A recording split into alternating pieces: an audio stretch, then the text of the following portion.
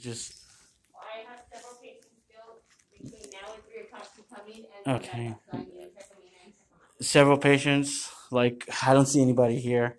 Okay, I You know. understand that, but I do have a. What's the reason why I can't wait here? We're only allowing fifteen minutes before the appointment time due to COVID. Oh, because of that. Because of COVID, we're only allowing patients in the office. Oh, I see that religious belief. COVID. I oh, see. I'm, I'm sorry, because that's, COVID's going on right now and we're abiding by the CDC guidelines. Yeah. and UT health, uh, rules.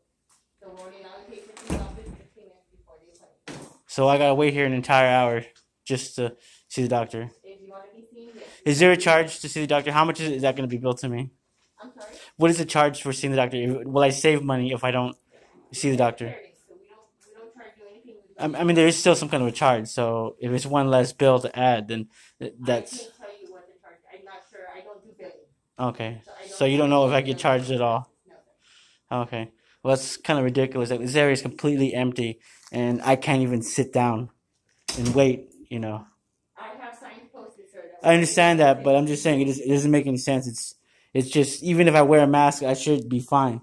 You know, I have a mask on. I completely understand you, but we are going by the UT health policies and we are only allowing patients in the office. All right, just cancel it, please. Okay, I'll cancel. Probably gonna lose my job. Thank you.